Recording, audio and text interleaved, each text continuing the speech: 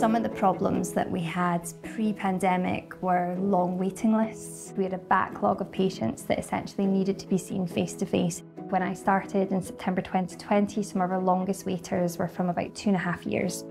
The focus of my appointment was to look at helping to find a new direction for oral surgery, dental alveolar and combined services and interactions with oral and maxillofacial surgery for patients in NHS Grampian. Patient journey for each of them started with them having a face-to-face -face assessment. So that meant everyone having to make their way to us to be seen. When you're seeing everyone face to face, it's sometimes because you need to see them face to face, that's the right way of doing things. And other times it's because we, we probably hadn't done a bit of the work in terms of triage and vetting to mean that we had everything we needed to give an effective first consultation. So these first consultations were taking more time than was required. And if you're using consultation time to see and deliver care that could be done in an alternative fashion, patients who really need that face-to-face -face consultation time aren't getting it.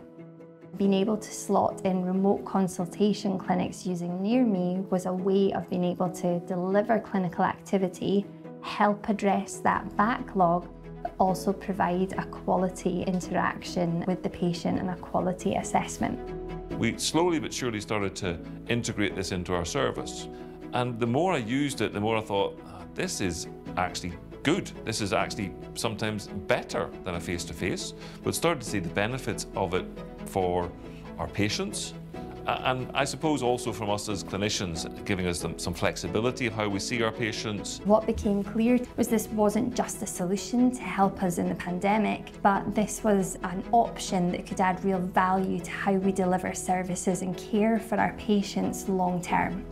So we've essentially redesigned our service across oral maxillofacial surgery, oral surgery and primary care dentistry with colleagues in the public dental service with remote consultation using Near Me integral to our continued service delivery plan.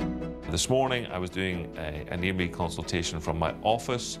All of the other clinical space in my department was completely utilised by other clinicians. So if I hadn't been able to do a near me video consultation, I really wouldn't have been able to do any significant clinical work at all. And I managed to see 12 patients this morning. We triaged them all appropriately. We've got them on the appropriate waiting list. Some patients don't need to have treatment done. We've just done a whole clinic without using clinical space. What undermines all of this is it's about uh, quality interaction for the patient. I always speak to my patients at the end of the consultation because often patients feel that it may just be a cost-effective way for the NHS to do it, but actually 99% of them will say this was as good of, if not better, for them on a personal level than coming to the hospital face-to-face. -face. If you're able to see a patient remotely, it frees up clinical space and it frees up clinical slots that can be used to treat urgent patients, that can be used to see patients that can only gain value from their healthcare consultation by seeing them face to face. Near Me is going to be part of healthcare delivery in the future.